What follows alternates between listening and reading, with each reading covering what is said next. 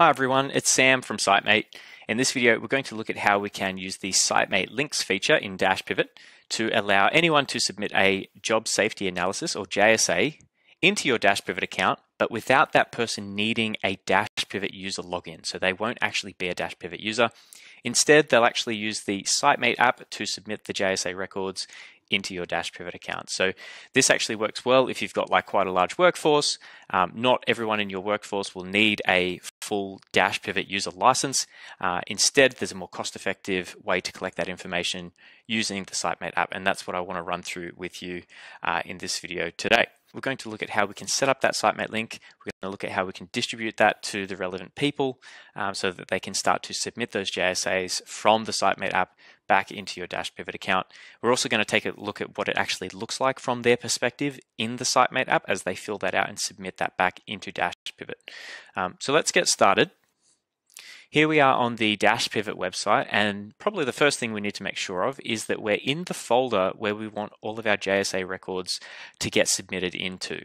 So in this case, it's this site team folder. So I've clicked on that one, gone to the template section, and we already have a JSA template set up. Um, so we're pretty much good to go. If we click on the links tab, you can see that we have two options. So we've got single and then ongoing.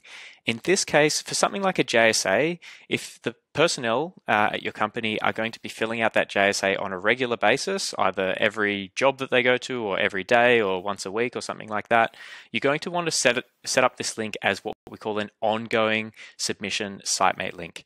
Uh, what this means is that when someone clicks on this link or scans this QR code poster and they gain access to that JSA, it's going to remain inside of their SiteMate account. So they can fill those JSAs out at any time. They don't have to re-click the link or anything like that. It's much more convenient. Just keep in mind that it is a paid feature.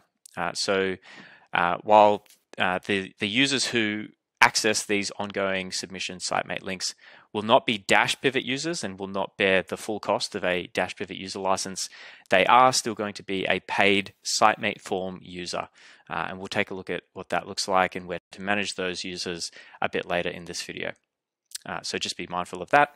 Um, so all that we need to do is click this create link button and give our link a name. I'm just going to call it job safety analysis. JSA. And we need to select our template. So in this case, uh, it's the JSA that we have here. You can select multiple templates, but for the purposes of this video, uh, we're just going to select the one and click the generate link button down at the bottom. So you can see it tells us that the link generation has been successful and it shows us what the two options are to distribute this link uh, to get our workers or our personnel to start to fill out these JSAs and submit them back into Dashpivot. So the first option is to simply just copy that link and then put that link in an email or an SMS and send it to the relevant person. When they click that link, it'll open up the SiteMate app and they'll gain access to start submitting JSAs. This option works really well when you know exactly who it is who's going to need access to fill out those JSAs. If you don't know exactly who's going to be filling them out, uh, I'd recommend using the QR code poster, which is this option on the right. Uh, what it does is it's going to generate a QR code uh, on a poster, which we can then stick on the site wall or at our office. And when someone scans that QR code, and here's what it looks like. Uh, when someone scans this QR code, it acts, it, behaves in the same way as if someone had just clicked on the link. So it's just a shortcut uh, to access that link, and then uh, by following these steps that you can see on the poster, that person will gain access to start submitting those JSAs uh, via the SiteMate app. And you can see the poster looks nice and professional. It's got your logo up the top. Uh, it's got the name of the link, the QR code that's nice and big, so it's easy to scan, some instructions, and then some info about the app stores and where exactly in Dashpivot this information will get submitted to. So I just wanted to show you what that looks like. Um, I actually have one here that I've prepared earlier, which we're going to use as an example. Um, but from the Dashpivot user's perspective, we can now click Done. We can see our link is here. We can copy that link and send it out. We've also got shortcuts to download the poster or edit this link if we needed to change something, and then archive if you know, at some stage we decide that we don't want anyone to be able to submit, submit these JSAs anymore, we can just archive that link. So great, that's pretty much all that we need to do. Now we're going to switch over to what it looks like from the SiteMate user's perspective. So the person who's going to fill out that JSA. So here we have the phone. Uh, so I've got it hooked up to the computer. We're just going to click on this camera button and we're going to uh, basically just scan the, uh, the poster. You can see it recognizes the QR code. It gives us the link up the top. So I'm going to tap that link and it opens up a site where it shows us what we just scanned. So it's the JSA. We can see that it's prompting us to install the app and it shows us a code. Now we're actually going to need that code, so I'm just going to copy that. And then we're going to go ahead and install the app. In my case, I actually already have it installed. So for me, it's easy. I just click open and we can see here's my profile. So in the SiteMate app, we just need to go to the forms section because the JSA, it's a form that we're submitting. Click the add forms button and then it prompts us for that link. And so that's what we need to paste in here. So I'm just going to go ahead, paste in that link that we just copied back from the browser, click submit, and you can see it's now added the JSA into our SiteMate app. So you can see it's also denoted as an ongoing submission. So we can, in other words, we can uh, submit this JSA form multiple times. Um, so let's go ahead and just do an example. I'm going to click add and it pulls up the form so we can start to fill that out. You know, we could put in the project address.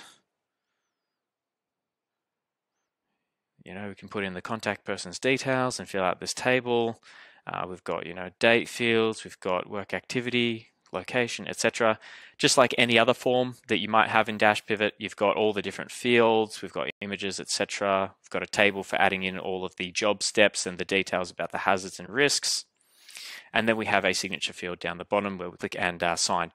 So I'm not going to fill out everything. I think you get the idea. You just go ahead and fill everything out. And then once we're happy with that, from the worker's perspective, all they need to do is click submit. And basically it's uploading and it's now submitted. This is in the activity tab in the SiteMate app. So this is basically all the uh, all of the uh, forms that we've submitted via these SiteMate links uh, in the past, and the most recent one is our JSA template. So you can see that there. So now that we've done that, uh, if we head back into Dashpivot, and here we are with our JSA, let's just refresh the page, and we should see our JSA form. So here we are. This is the one that we just submitted uh, from the SiteMate app. Now, if you're in Dashpivot, you can now access uh, that record, open it up, see all of the information that is being filled out, um, the signatures and everything like that. So pretty neat. And then over time, anyone who's submitting those JSAs, uh, anyone from your workforce who's clicked on that link and is submitting them, they're all going to show up here and uh, you'll be able to manage everything in this register view. I did mention earlier that uh, these SiteMate form users who have access to uh, these ongoing uh, submission SiteMate links, um, those people are paid users. They're not Dashpivot users, but they are paid users. The place that you'll manage them is in the users section.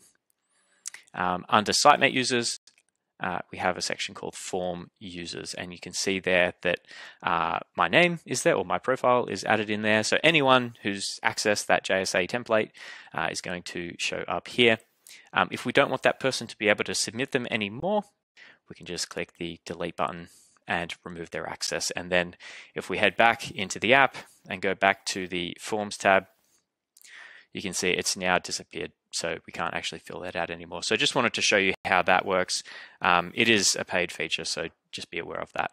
Um, so that pretty much wraps up this video. If you have any questions or you get stuck setting up any of these things, uh, please reach out to our uh, team via live chat on the Dashpivot website.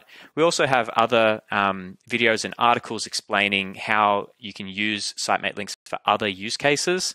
Um, so things like timesheets or inductions or pre-starts, uh, room completion sign-offs, things like that. Uh, we've got videos on all of those use cases. Feel free to check those out. And we also have other videos just covering other areas of Dashpivot across, you know, photos, templates, analytics, etc. Um, so give those a watch uh, if you're interested. And that wraps up this video. So I hope this will be really useful for you uh, with your JSAs. And thanks for watching.